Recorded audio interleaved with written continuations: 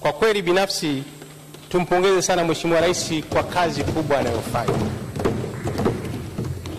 Mheshimiwa Spika, wajumbe wamezungumza hapa wa bunge lako hili kujadili maoni ya Mheshimiwa Rais na maono yake.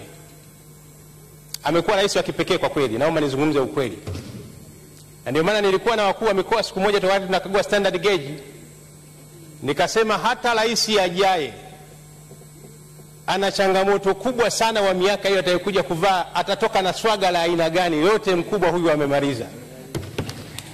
Kwa kweli tunamshukuru sana Mwenyezi Mungu kutupa, rais huyu, lakini nimpongeze sana kakangu Mwinyi na wizara yake. Kwa kweli kwa kazi kubwa anayofanya na jeshi lake kwa ujumla wake, ni wizara imetulia sana na hakika leo hii tukitimiza mwaka huu wa tano, wizara hii ni muhimu sana, na hasa kutokana na kazi kubwa aliyofanya rais wetu. Maana ukiipima Tanzania ndani ya miaka mitano, kuna mambo yanapaswa kulindwa na, na hasa jeshi letu lazima liwe jeshi madhubuti. Ndio maana sana nimshukuru sana Dkt. Mwinyi kwa kazi kubwa anayofanya. Leo hii Watanzania wanashuhudia hakuna sehemu iliyoachwa katika taifa letu hili. Ukizungumzia swala zima la umeme kwa ndugu yangu kakangu Karemani pale, kazi kubwa iliyofanyika wa ujenzi wa miundombinu hii lazima ilindwe katika usalama wa nchi yetu. Sio wote wataotamani swala zima la uwekezaji katika swala zima la umeme wa pale Rufiji, sio wote wataotamani. Wengine wanataka jambo lile liharibike katika fraction of second sio wote wataotamani. Wata wa ukanda wakati hapo Kalemani amepambana ujenzi wa, wa usongo wa umeme wa KV karibuni mia nne umejengwa. Wengine watamani miundombinu ile iharibike, watu wapate frustration. Kwa dadangu Jenista Muhagama kule, hali yao ilikuwa tia maji tia maji, hata umeme hawana, wanatumia majenereta. Leo hii nchi yote imekuwa connected, sio wote wanaotamani. Lazima jeshi liweze kusimama vizuri. Nchi yetu tunaishuhudia jinsi gani ujenzi wa reli hii. Tuzame ndugu zetu wa jirani hapa, miundombinu yao ya standard gauge iliyojengwa, afu kompea na sisi, fedha za walipa kodi wa Tanzania, jeuri ya Watanzania kupitia Dr. John Pombe Magufuli. Reli ya mfano inayojengwa standard gauge, ambayo wengine wanatamani jambo lile liharibike, sio wote wanaotamani lazima vyombo vyetu vya ulinzi na usalama, jeshi letu liwe imara. Lakini ukiangalia katika upande mwingine, nchi yetu imekuwa na kadhia kubwa sana. Ajenda ya ndugu yangu hapa Dr. Biteko, swala la madini, jinsi gani nchi yetu ilikuwa inapoteza rasilimali madini, lakini nchi ya Tanzania sasa hivi inaanza kuwa kiigizo kizuri kwa ajili ya uongozi wa Dr. John Pombe Magufuli. Wanaweza wakapatikana watu wabaya kuharibu mifumo hii yote tuliyokuwa nayo lazima tuwe na jeshi imara la ulinzi na usalama. Lakini ukienda katika nyanja mbalimbali, leo hii watu wote wanashuhudia jinsi gani uwekezaji katika sekta ya afya. Tumezungumza sana humu ndani, nchi yetu ilikuwa inatabika. Nakumbuka Kigangwala wakati ule na umi mwalimu anaangalia pale, ukiangalia pale hospitali yetu ya Muhimbili, lakini kazi kubwa iliyoshushwa mpaka ukuchiza leo hii kila mahali ambayo jambo halionekani lilikuwa linaonekana sio jambo la, la kuwezekana. Leo hii ukienda mpaka vijijini kule, uwekezaji mkubwa umefanyika. Sio wote wanaotamani. Tunaweza tukapata waharibifu wachache wakataka kuiharibu nchi hii. Lazima tuwe na jeshi imara katika Jamhuri ya Muungano wa Tanzania. Kwa hiyo nimpongeze sana Dkt. Mwinyi kwa kazi kubwa wanaofanya katika taifa letu hili. Nilishuhudia leo hii watani zangu wa Nyamwezi wa Tabora na Sikonge kule uwekezaji ambao Dr. Mpana anahangaika pale na ofisi yake na dada yangu Kijaji. Leo hii maji yanakuja yanakwenda Tabora, watu wanaona kazi inaofanyika na sio mradi huo pekee yake, isipokuwa nchi nzima kazi inaofanyika Hivi ni kweli watu wote watautupenda? Wengine kutoka ndani na wengine kutoka nje watatamani mambo hayo yaharibike. Kwa hiyo lazima tuwe na jeshi imara litaloweza kuilinda nchi yetu katika vipindi vyote. Kwa hiyo binafsi naomba kuunga mkono bajeti hii kwa nguvu zote, lakini kumpongeza sana Mheshimiwa Rais kwa leadership yake anayotuongoza katika taifa letu hili. Mheshimiwa Spika, taifa letu leo hii kama ninavyofahamu sio kisiwa, Dunia nzima imekumbwa na tatizo la ugonjwa wa korona. Tunamshukuru sana Mheshimiwa Rais kwa leadership yake. Mara nyingi tunaambiwa be yourself katika uongozi, kuwa kama ni wewe. Rais Magufuli ameamua kuwa yeye kama yeye kuliongoza taifa letu hili kipindi hichi. Tunampongeza sana na naomba Watanzania wote tuungane na rais wetu wa Jamhuri ya Muungano wa Tanzania. Lakini wapongeze Watanzania na hasa kutekeleza ile siku ya nyungu, wiki ya nyungu. Niwapongeze sana Watanzania. Leo Mheshimiwa Spika, na tunakamilisha siku yetu ya sita katika ile wiki yetu ya nyungu. Niwapongeze Watanzania wote, wasanii, viongozi, wana kijiji, kila, kila mtu katika eneo lake. Tumefanya kweli kweli. Hii vita haichagui silaha. Wewe piga nyungu yako vizuri, kunywa juisi yako ya tangawizi, kula matunda yako. Na bahati nzuri, Mheshimiwa Spika, kuna habari ninazipata katika meseji, wanasema bwana, tumejaribu nyungu, inaonekana kwamba sio ugonjwa peke yake, isipokuwa inarekebisha na mambo mengine. Watu wamesema kabisa kijasho kikitoka ukitokana kule, basi shughuli inakuwa pevu kweli kweli. Ninashukuru sana ndugu zangu. Kwa hiyo kama taifa, na kweli tuna kila sababu ya kujivunia katika eneo hilo, lakini ndugu wa Tanzania na Mheshimiwa Spika, tufanye maombi sana. Katika maombi mara nyingi sana tunaambiwa tuigize kipindi cha baba yetu wa imani Ibrahimu, na mimi naomba sana Mungu atunusuru katika janga hili. Mungu wakati Ibrahimu wa kipindi kile anaingizwa katika moto au Abrahamu, basi ikasema ewe moto, kuwa salama na amani kwa Ibrahimu. Tuendelee kuomba Mungu hivi virusi vya korona viwe salama na amani kwa Watanzania. Mheshimiwa Spika, naomba kuunga mkono hoja. Nakushukuru sana Mheshimiwa Waziri Jafo maarufu mzee wa nyungu, pokelewa kona zote za nchi yetu. Kwa kweli tunakushukuru sana sana, hata waliokuwa hawajui kufukiza ni nini sasa wanaelewa, wamekuwa mabingwa na wameelewa kuna tofauti ya sufuria na nyungu. Asante sana Mheshimiwa Waziri wa Fedha, Mheshimiwa Dr. Philip Mpango, sijakupangia muda, Mheshimiwa atafuata mtoa hoja. Asante. Mheshimiwa Spika, nakushukuru sana kwa nafasi hii, na mimi nianze pia kumshukuru Mwenyezi Mungu kwa kuniwezesha kusimama na kuchangia kwenye bajeti hii muhimu sana, na naomba nianze kwa kweli na mimi kuungana na wenzangu kumpongeza sana Amiri Jeshi Mkuu Dr. John Pombe Joseph Magufuli. Yaani ni chuma kweli kweli, upeo wake hauna mfano. Tulimhitaji sana kiongozi huyu na Mungu akatupatia. Mungu amlinde sana kiongozi wetu, ailinde na familia yake. Lakini pia naomba nichukue nafasi hii kumpongeza sana Mheshimiwa Dkt. Hussein Mwinyi, waziri wa ulinzi. Wote wamesema hapa ni waziri mtulivu sana, msikivu kweli kweli, na ndiyo maana hatuoni shida sana na vyombo vyetu vya ulinzi na usalama. Lakini pia niwapongeze CDF na wasaidizi wake wote, wanafanya kazi nzuri sana.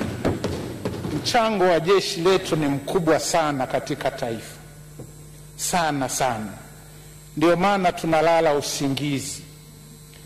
E, lakini mnaona jeshi letu kila mahali kwenye majanga lipo. Wananchi wote, wote wanafaidi sana huduma za jeshi kwenye hospitali za kijeshi, lakini pia ujenzi wa nyumba za askari. Lakini vile vile sio tu hivyo, hata kwangu kule kwenye mapato jeshi limekuwa ni la msaada mkubwa sana sana, ikiwa ni pamoja na ujenzi wa ule ukuta kulinda ile mali yetu pale Mirerani. Kwa kwa kweli niseme naunga mkono hoja na kuwapongeza sana kwa kazi hii nzuri wanayoifanya.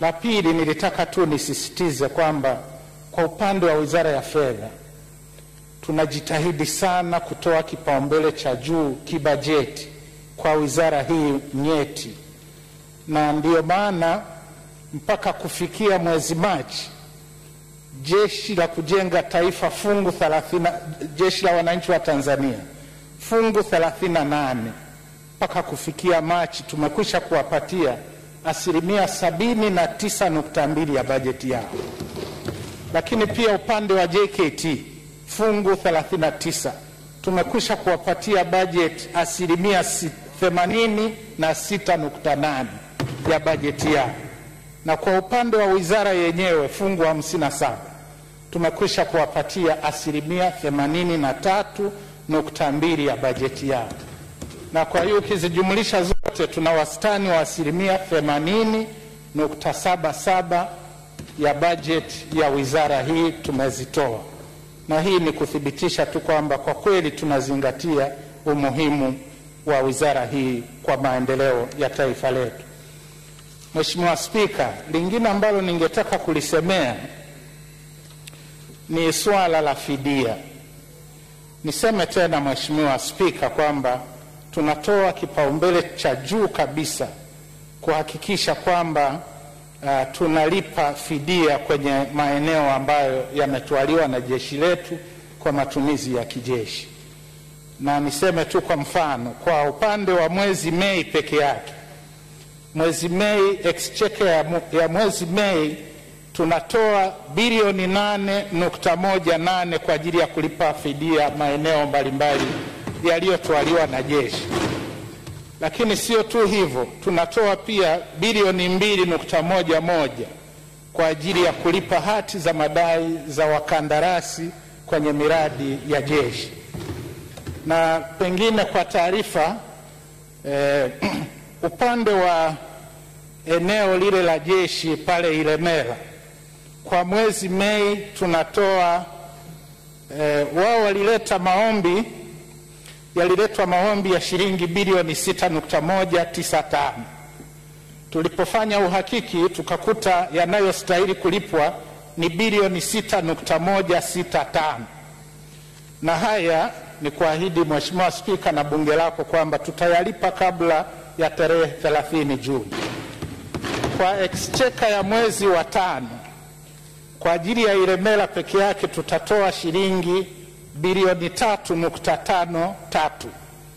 Upande wa Arusha jiji na DC tunatoa pia bilioni tatu nukta tano tatu na upande wa Musoma Municipal Council tunatoa bilioni moja nukta moja moja. Nasema hizi tu kama mfano, Mheshimiwa Spika, kuthibitisha kwamba tunatoa kipaumbele cha juu sana kuhakikisha kwamba maeneo yanayotwaliwa na jeshi basi tunaondokana kabisa eh, na madai ya wananchi wetu ambao wanapisha eh, kazi za jeshi kufanyika katika maeneo hili. Kwa upande wa nyumbu, pengine sitakuwa na, na, na takwimu, lakini niseme kwamba mimi na wenzangu pale Wizara ya Fedha tunaamini kabisa kwamba taasisi ile ni ndoto ya baba wa taifa letu hayati Mwalimu Nyerere na kwa hiyo tutafanya kila liwezalo kuhakikisha kwamba tunalipelekea e, fedha taasisi ile e, kadiri mapato yanavyoturuhusu. Kwa hiyo tunazingatia ushauri ambao tumeusikia. Kwa upande wa maduka ya wanajeshi e, ilisemwa hapa kwamba fedha hazitoki kwa wakati. Mheshimiwa Spika, niseme kwa kweli tunafanya jitihada kubwa sana kulipa hizi posho e, za fidia kwa wale waliokuwa wanatumia yale maduka ambayo kama tulivyosema nyuma zilikuwa zinafaidia watu, yalikuwa yanafaidia watu wachache, na askari wengi na hasa wale rank and file walikuwa hawafaidiki, na kumbe tunawalipa posho zao e, moja kwa moja kwenye akaunti zao e, ili kuhakikisha kwamba kweli kila mwanajeshi ananufaika, na kama kuna ucheleweshaji kwa kweli tunakuwa tumebanwa, lakini kila baada ya miezi mitatu tunahakikisha kwamba posho zao uh, zimelipwa. Uh, hali kadhalika kwa upande wa wastaafu wa jeshi, masuala ya pension, nisisitize tena kwamba kama serikali tunatambua sana mchango mkubwa wa askari wetu ambao sasa wamestaafu. Kwa tunafanya jitihada kuhakikisha kwamba wanapata stahili zao eh, na, na pensheni zao ili waweze kupumzika baada ya kulitumikia taifa vizuri. Mheshimiwa Spika, leo kwa kweli nimefurahi sana mchango ambao mjadala ambao umeusimamia Mheshimiwa Spika ni mjadala mzuri sana, na mimi ningetamani kwamba wabunge wenzangu wahakikishe kila mtu anapata Hansard ya majadiliano haya. Ushauri uliotolewa ni mzuri sana eh, kuhusu eh, jeshi kupewa fedha za kutosha kufanya ma- utafiti mbalimbali wa magonjwa. Eh, lakini pia mambo mbalimbali including masuala ya microbiolojia, na mimi nipende kusema kwamba sijui kama nitapata privilege tena ya kupata uwaziri mezani, lakini katika handing over notes zangu nitasisitiza mambo haya yapewe msukumo na atakaye kuwa msaidizi wangu kibajeti. Mheshimiwa Spika, uh, naomba niseme eh, neno lingine pengine la mwisho kuhusu tafiti za jeshi. Ni kweli kabisa haziwezi kupelekwa COSTECH e, na kwa hiyo tunapokea ushauri na sana sana ni kusisitiza tu kwamba wizara yangu itaendelea kuelekeza fedha kwenye e, utafiti ndani ya jeshi lenyewe na hasa kwenye vyombo vyake uh, ili, ili tuweze kuhakikisha kwamba tunaendelea kubaki salama kama taifa na tunasonga mbele, lakini jeshi likiwa pia ndiyo chacho au center ya excellence ya tafiti ambazo zitahakikisha kwamba tunaendelea eh, kuwa salama eh, katika ulimwengu ambao unatawaliwa na teknolojia. Baada ya maelezo hayo, Mheshimiwa Spika, naunga mkono hoja na nakushukuru sana kwa nafasi. Asante sana Mheshimiwa Waziri wa Fedha kwa hotuba nzuri sana yenye analysis zinazowatia moyo waheshimiwa wabunge, ikiwa ni pamoja na masuala ya fidia na mengine yote uliyoyaainisha. Tunakushukuru sana sana sana sana. Sasa mtoa hoja na kukaribisha e, Mheshimiwa Jenista Mhagama. Mheshimiwa Spika, nianze na mimi kwa kukushukuru sana wewe mwenyewe Mheshimiwa Spika wa Bunge la Jamhuri ya Muungano wa Tanzania kwa kuendesha mjadala huu wa hotuba uh, ya bajeti ya wizara hii kwa viwango vya hali ya juu kama ilivyo kawaida yako. Mheshimiwa Spika, hongera sana na asante sana. Mheshimiwa Spika, Ah, na mimi nadhani kwanza kwa niaba ya Dr.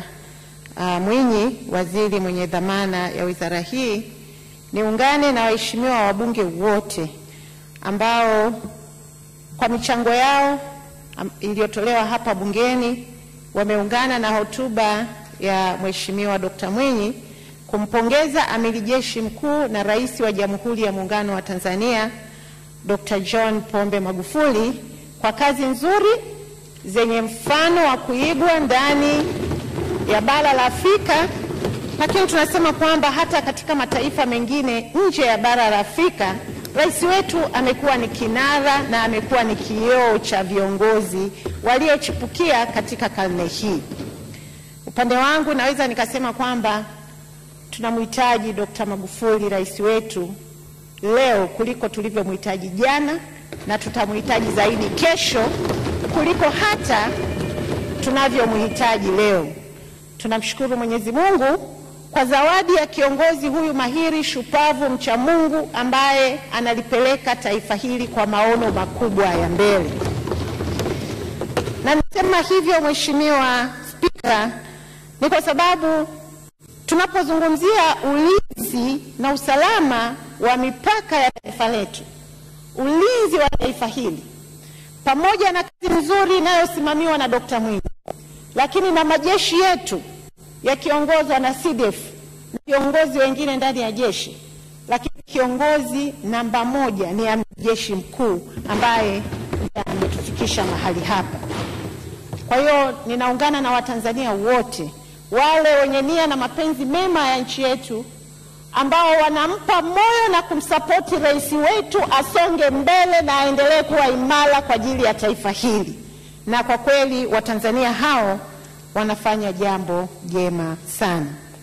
Mheshimiwa Spika, nichukue nafasi hii pia kwa niaba ya Mheshimiwa Dkt. Mwinyi kuwashukuru sana kwanza kamati iliyochambua bajeti hii kwa maoni na ushauri wao mzuri ambao tumeupokea, na ninaomba kukuhakikishia kwa maelekezo niliyoyapata kwa Dkt. Mwinyi, majibu ya hoja zote yataandikwa pia kwa maandishi na wabunge watapatiwa majibu ya hoja hizo zote kwa maandishi. Baada ya kusema hayo, nitakwenda kujibu baadhi ya hoja na baadaye utaniruhusu niweze kuliomba bunge lako liridhie jeshi letu, lakini na wizara hii iweze kupokea fedha, mapendekezo ya fedha kama nilivyoyasoma kwenye bajeti. Mheshimiwa Spika, ukiutizama mjadala wa leo, kwanza unalipongeza jeshi letu kwa asilimia mia moja kwamba ni jeshi imara na linafanya kazi kubwa sana, lakini mjadala huu ukiuweka kwa mafupisho yake umedhihirisha kabisa kwamba Watanzania wana imani ya mabadiliko makubwa ya kisayansi, kitafiti na kiteknolojia kupitia jeshi letu la wananchi wa Tanzania. Lakini ukiangalia pia mchango huu katika mawanda yake umedhihirisha kwamba jeshi letu limefanya kazi kubwa ndani ya nchi, eh, ndani ya nchi yetu na nje ya nchi ya Tanzania na kujipambanua kuwa miongoni mwa majeshi machache yanayofanya vizuri ndani ya Afrika na nje ya bara letu la Afrika. Lakini michango hii yote ukitizama imeonyesha ni kwa kiasi gani jeshi letu limekuwa ni kimbilio la wananchi, na ndio maana ni jeshi la wananchi, na hasa ukipata mifano halisi wakati wa majanga mbalimbali, jeshi hili limekuwa mstari wa mbele kushirikiana na Watanzania na kuonyesha dhahiri shahiri kwamba jeshi letu ni jeshi la Watanzania, ni jeshi la wananchi wenyewe.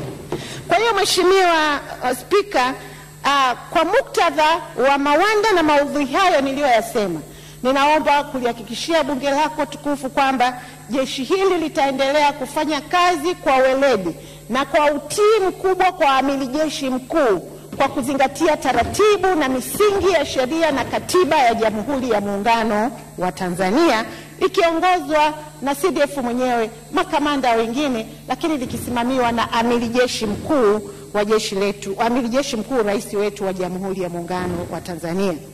Mheshimiwa Spika, ni nikipitia hoja ambazo ziliibuliwa hapa, ya kwanza ilikuwa ni kiu ya waheshimiwa wabunge kuona kwamba baada ya serikali kuhamia Dodoma, basi ujenzi wa makao makuu ya jeshi la ulinzi kule Kikombo, kila mtu ilikuwa ni kiu yake kuona ujenzi huo unaanza kufanyika. Mheshimiwa Spika, nampongeza sana amiri jeshi mkuu na rais wetu kwa kufanya maamuzi ya kuhamishia serikali Dodoma kwanza, na wote ni mashahidi, serikali imekwisha kuhamia Dodoma. Sasa hajaishia hapo tu, Mheshimiwa Spika, tayari Wizara ya Fedha imeshatoa fedha za Kitanzania takriban bilioni kumi na tumekwisha kuanza kujenga makao makuu ya jeshi hapa Dodoma, eneo la Kikombo, na mkakati wa serikali ni kutumia miaka miwili. Ujenzi umeanza mwezi Machi mwaka elfu mbili na ishirini tunatarajia utakamilika mwezi Machi mwaka elfu mbili na ishirini na mbili. Kwa hiyo waheshimiwa wabunge, wajumbe wa kamati, jambo hili limefanyiwa kazi. Mheshimiwa Spika, tumepokea ushauri wa wabunge na ushauri wa kamati kwamba uh, kuna haja ya kujenga hospitali kubwa ya kanda ya jeshi hapa Dodoma, na yuko mfadhili ambaye alikuwa amejitoa kutusaidia kujenga mradi huo, lakini kamati imetushauri kwamba tupokee fedha lakini ujenzi ufanywe na jeshi lenyewe.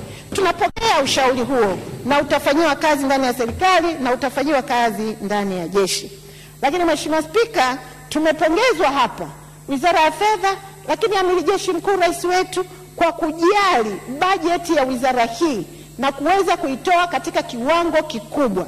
Tunapokea sana pongezi hizo, na waziri wa fedha amezungumza hapa vizuri na kuonyesha nia njema ya serikali kwa mwaka wa fedha 2020 2021 bajeti hii imeongezeka mpaka kuwa trilioni mbili nukta moja toka trilioni moja nukta nane kwa mwaka 2019 2020. Kwa hiyo hiyo ni nia njema, tunaonyesha dhahiri kwamba serikali kwa kweli tuna- tunajali wizara hii kwa sababu kwa kweli ni msingi wa maendeleo. Amani, utulivu, umoja, ulinzi wa taifa ndio msingi wa maendeleo endelevu ya taifa letu. Mheshimiwa Spika, uh, waheshimiwa wabunge wameonyesha iko haja na kiu kubwa ya kuona kwamba JKT inaongeza vijana wengi na hasa wale wanaoenda ili kwenda kujitolea, kwa sababu ni eneo pekee tutakalojenga uzalendo kwa vijana wetu wa Tanzania, waitambue nchi yao vizuri, wawe tayari kulitumikia taifa lao. Kwa hiyo tumekubaliana na ushauri huo. Kwa mwaka elfu mbili na ishirini na moja jeshi limejipanga, linatarajia kuchukua vijana wa mujibu wa sheria takriban kama elfu ishirini na moja vijana wa kujitolea elfu kumi na mbili itachukua jumla ya vijana elfu thelathini na tatu na hiyo yote ni kwa miongozo ambayo inatolewa na serikali yetu. Lakini mmetuambia tuwe na mkakati wa ziada kwenye mapambano haya dhidi ya korona. Tumekubali hapa kwamba kwa kweli tunahitaji kwenda kutafakari ndani ya serikali. Waziri wa fedha ameiweka vizuri sana, lakini tutasaidiana na jeshi letu. Tunasema tunaliamini jeshi letu kama kitivo cha utafiti kinafanya vizuri. Tumekuwa mashuhuda Nyumbu, Mzinga wamefanya vizuri sana sana katika ubunifu wa teknolojia ya hali ya juu. Hawataweza kushindwa kufanya utafiti na ubunifu katika vita hizi za kibiolojia ambazo zinakuja kwenye ulimwengu wa sasa. Mimi nadhani tuwape nafasi, tuwape nafasi, na kwa kuwa wako hapa wanatusikia, nina uhakika kwa serikali hii ya awamu ya tano na aina ya jeshi tulilonayo watafanya miujiza mikubwa ndani ya taifa na ulimwengu mzima.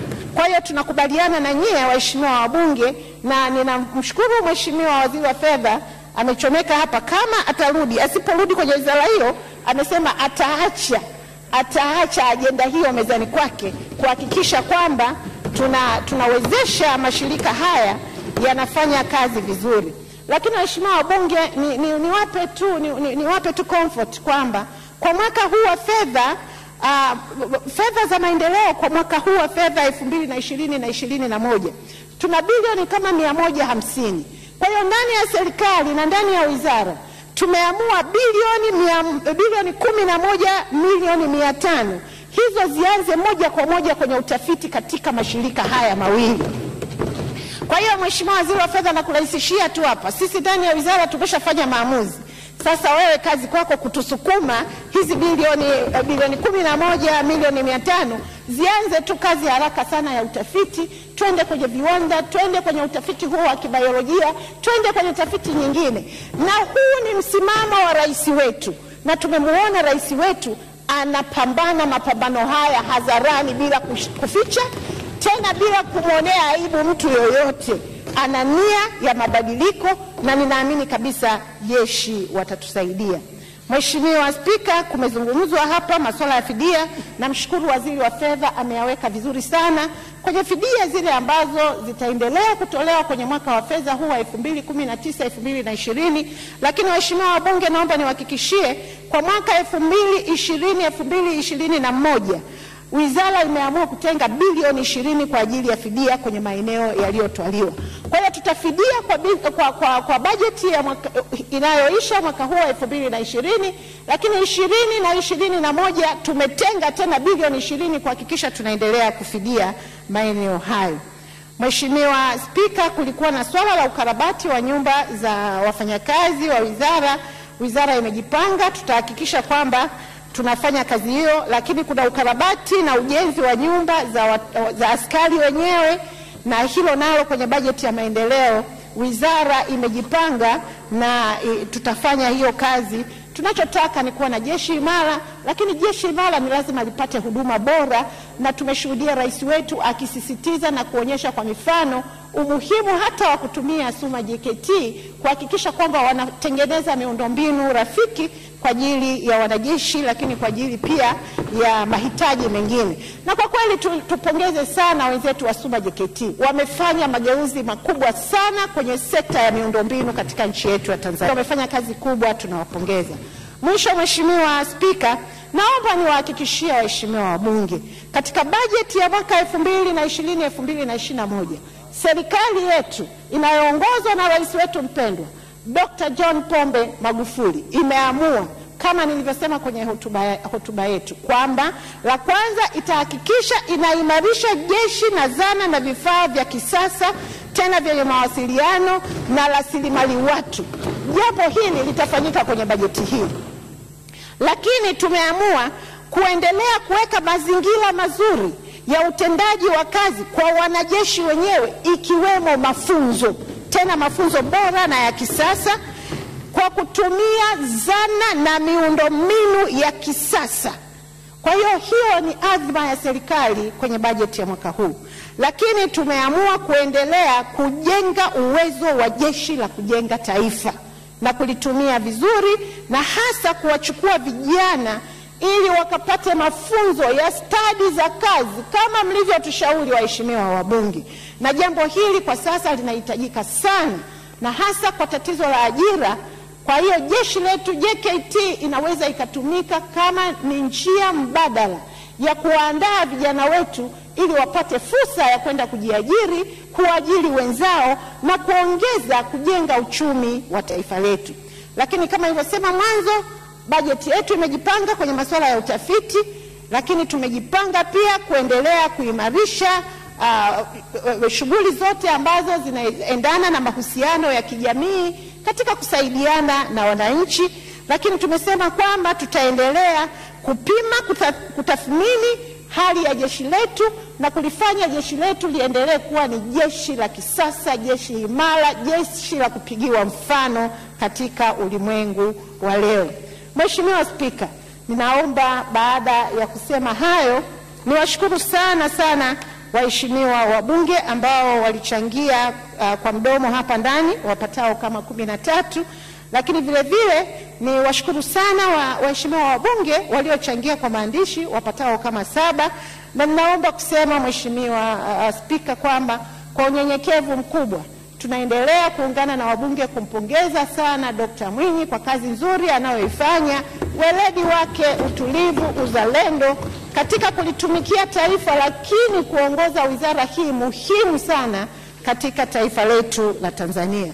Mheshimiwa Spika, baada ya kusema hayo, sasa naomba kutoa hoja bajeti ya fedha ambayo nimeisoma kwenye hotuba yangu muda sio mrefu uliopita baada ya kujadiliwa na waheshimiwa wabunge, sasa ikubaliwe na bunge lako tukufu na iweze kupitishwa ili wizara hii iweze kwenda kutekeleza majukumu yake kwa mujibu wa katiba na hati idhini iliyotolewa na Mheshimiwa Rais.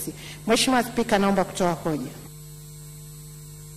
Asante sana Mheshimiwa Waziri wa Nchi, Ofisi ya Waziri Mkuu, Mheshimiwa Jenista Mhagama. Hoja imetolewa na imeungwa mkono.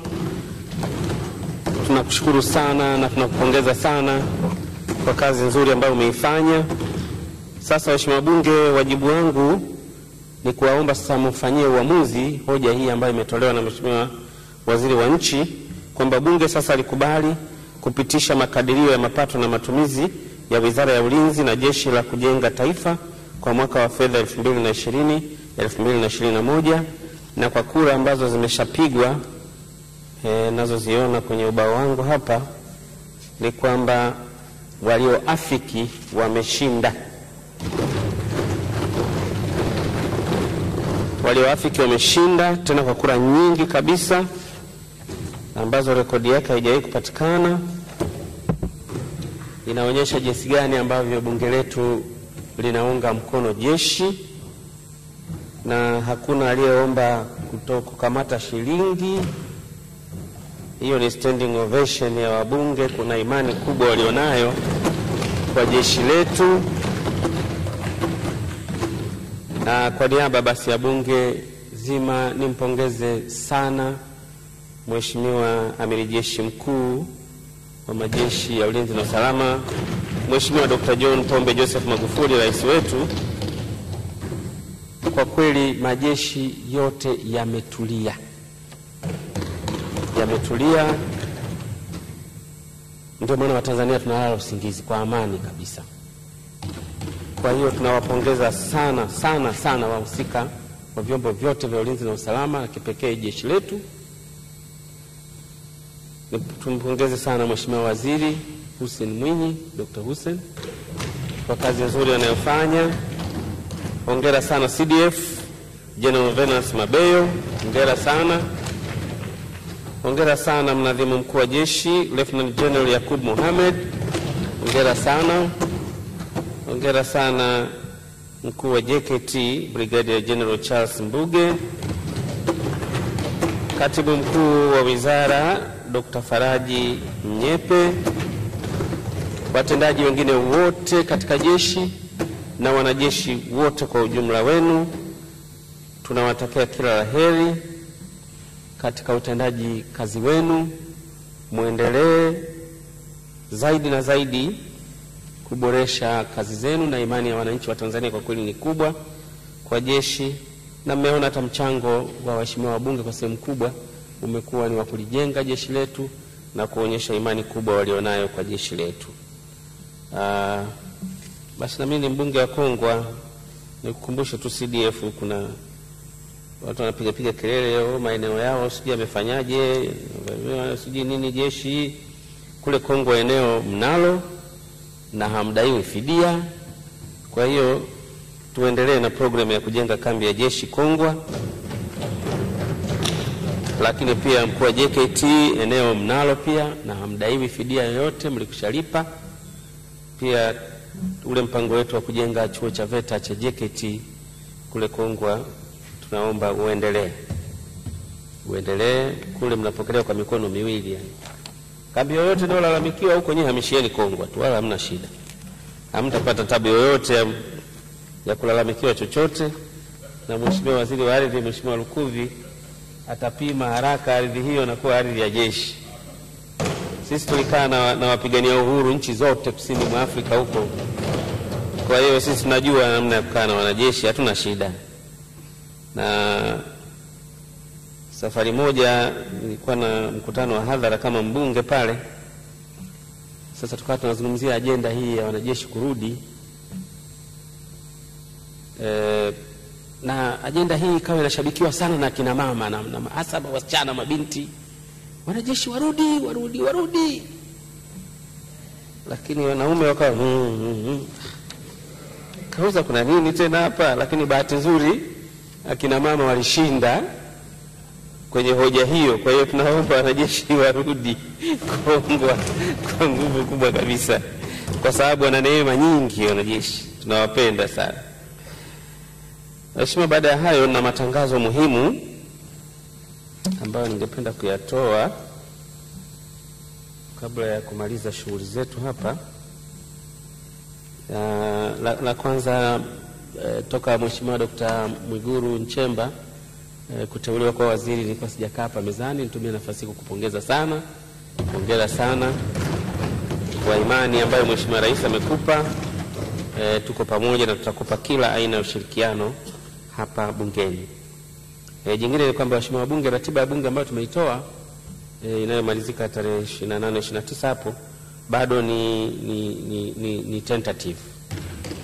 Kwa hiyo msiwe na wasiwasi sana e, tunavyokwenda kama mtakavyoona ratiba yetu karibu ni ya tano toka tumeanza mkutano huu.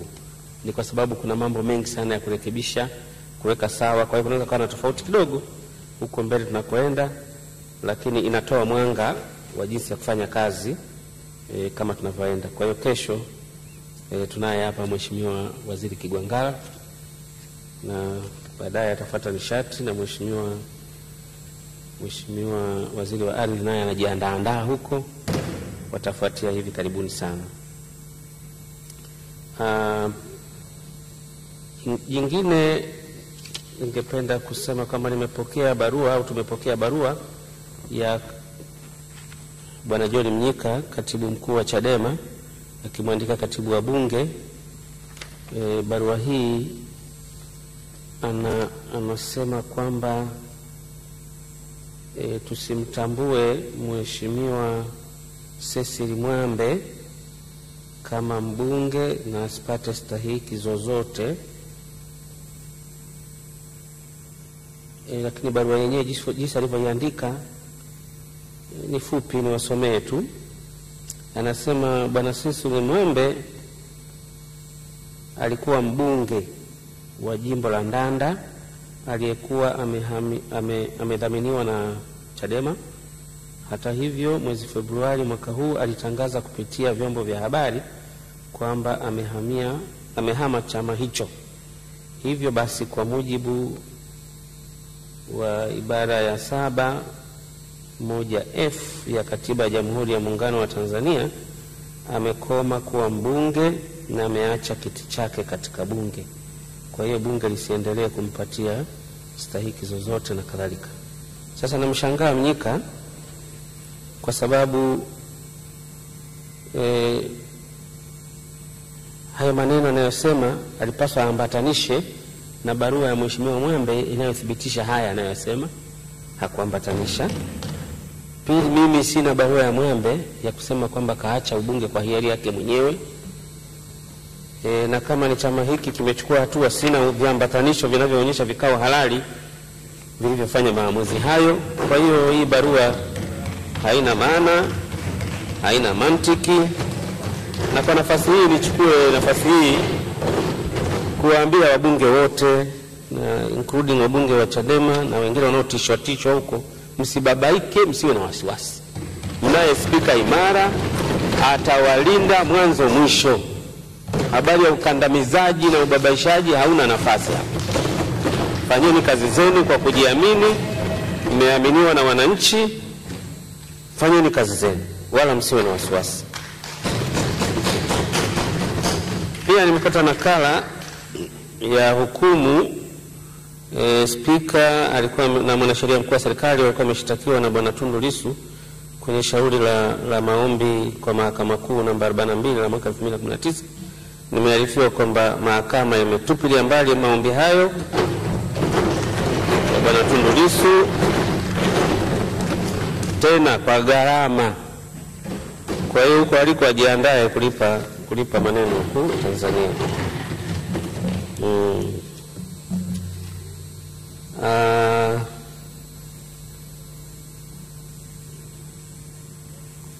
Pia tumeona kupitia mitandao na vyombo vingine vya habari maelezo ya au tangazo la, la Chadema kutoka kwa mwenyekiti wake Bwana Freeman Mbowe akiwa na nafasi ya kiongozi wa upinzani akiwaelekeza wabunge wa chama hicho humo bungeni wasihudhurie vikao vya bunge kwa muda wa wiki mbili. Nimeshangazwa sana na, na tangazo lile na nimesikitishwa kweli kweli, kwa sababu hana mamlaka hayo ya kuitisha utoro na mgomo kwa wabunge kwa wiki mbili. Anajaribu kuwa kama prefect wa shule ya sekondari hivi. Yani haya mambo nayakumbuka enzi hizo, tunagoma sijui chakula kimefanyaje, yani bado anaendesha mambo kisekondari kabisa. Eh, e, kufanya mgomo wa namna hiyo kirahisi rahisi tu, haiwezekani. Na taarifa nilizo nazo, japo wameambiana wakae Dodoma hapa, wako wanazurura nchi nzima e, wanazurura zurura tu huko, wanazagaazagaa huko e, ni, ni, ni tamke rasmi kabisa kwamba barua hiyo si halali kwa maana ya sisi bunge hapa. Kwa hiyo hatuitambui, haina nafasi. Wabunge hao popote pale walipo warudi bungeni haraka sana kuendelea na kazi zao. Sasa wale watakaoendelea na huo mgomo wajue baada ya hizo wiki mbili zao kuisha, hawatapokelewa hapa bungeni isipokuwa kama kila mmoja wao atakuwa amefanya vipimo vya COVID-19 na kupata clearance kwamba hawana matatizo, kwa sababu sisi tuko hapa, wao wanazurula nchi nzima, hatuwezi kujua nani anarudi salama. Kwa hiyo itabidi wapate vipimo kwanza kabla hawajakanyaga geti la bunge kuingia hapa, na haya ndio maelekezo. La pili, wabunge hawa ambao ni watoro huko, miko, huko mikoani waliko na wananchi wawatambue hivyo. Walipokuwa wanaondoka, walikuwa wamekwisha kulipwa fedha za padiem kwa wiki mbili. Kuanzia tarehe moja mwezi Mei hadi tarehe kumi na saba mwezi Mei, jumla ya shilingi milioni mia moja na kumi na laki moja na stini kundi hilo kwa ujumla wake. Kwa hiyo ukiondoa hawa ambao wameamua kuendelea na vikao hivi ambavyo hatutawadai, lakini naagiza na waagiza wabunge hao kuanzia Freeman Mbowe mwenyewe kurudisha shilingi bilioni mbili na elfu arobaini aliyolipwa na wenzake wote hawa kurudisha milioni mbili na elfu arobaini ambayo kila mmoja wao amelipwa, kwa vile huu ni utoro wa hiari na hizi ni fedha za wananchi. Kwa maneno rahisi, ni wizi na ni mfano mbaya sana kwa viongozi, kwamba unachukua fedha, unalipwa fedha za wananchi maskini hawa uwafanyie kazi yao, wewe unaondoka, unatoroka, unajiwekea migomo ambayo haina kichwa na mguu, lakini fedha ile iko mfukoni, ndio unazurulia huko nchini. Kwa hiyo irudishwe hii fedha milioni mbili na elfu arobaini kwa kila mmoja wao, lakini kuna waliolipwa milioni, milioni tatu tatu. Mheshimiwa Catherine Ruge milioni tatu rudisha. Mheshimiwa Devota Mija milioni tatu. Milioni tatu Mheshimiwa Joyce Mukia. Milioni tatu Mheshimiwa Roda Kunchela. Milioni tatu Mheshimiwa Zainab Musa Bakari. Milioni tatu Zubeda Hassan Sakuru na wengine wote waliobaki milioni mbili na elfu arobaini. Maagizo yangu ni nini? Hawa kila mmoja wao arudishe hizi fedha. Atakayefika getini anapohesabu mgomo wake umeisha bila kuwa amerudisha fedha hizi, hataingia katika eneo hili na hatutaweza kumpokea. Na baada ya tarehe hizo, wiki mbili walizojiwekea hizo, kama watakuwa hawajarudisha fedha hizi, basi nitapeleka orodha hii katika vyombo vya ulinzi na usalama. Litakuwa sasa ni jambo ambalo sasa mwanasheria mkuu wa serikali atatusaidia kuona e, linakwenda kwenda vipi, lakini mimi kwa hatua kama spika, hawa warudishe kwanza fedha hizi ambazo ni wizi haraka sana katika akaunti ya Bunge, vinginevyo hatutawapokea hapa. Kwa hiyo masharti hayo mawili, watakuja kwanza wawe wamerudisha hizi fedha, lakini la pili wawe na clearance ya COVID-19 ndio wakanyaga kwenye geti la Bunge, na hatua nyingine zitafuatia, kwa sababu wao si wababe bwana na wako mwisho mwisho hapa, wajua wanacheza na moto. Yanayofuata yanafurahisha zaidi kwa kundi hili.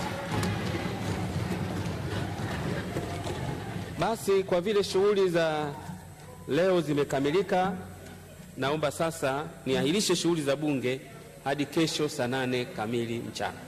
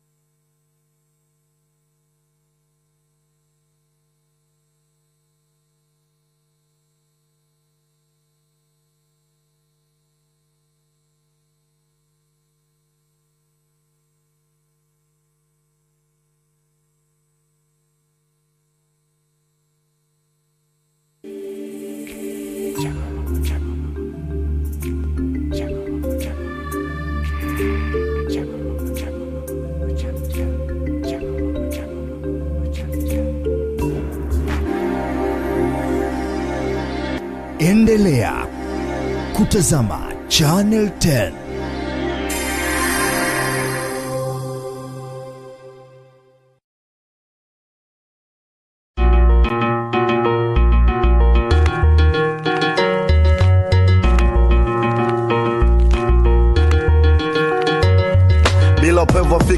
Kung'amua hii homa ni ndoto. Madaktari waganga wote cha mtoto. Bado wanaitafuta pima joto kwani dunia ina homa kali mithili ya moto. Wanasayansi wamelala maabara wanaitafuta tiba kwani homa dunia ishaleta madhara. Hakuna masara. Vipofu wameisikia homa dunia viziwi bado analia. Mabubu wanataka kusimulia. Dunia sawa na meli yenye tundu nozama polepole nenda taziba tundu hakuna kidole. Jihadari? Na korona ni hatari. Magic FM. Believe in the power of magic. Magic. Magic. Magic. What we gonna do right here is go back. Way back.